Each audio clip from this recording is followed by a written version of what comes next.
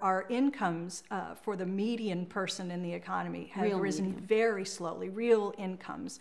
Uh, most people have not seen huge increases in their wages and salaries over the last many years, whereas college costs are just outstripping the cost of almost everything else in our economy. So if you go back, you mentioned 1990, but if you look at what's happened from 1980 until where we are today, um, college costs have increased 350%.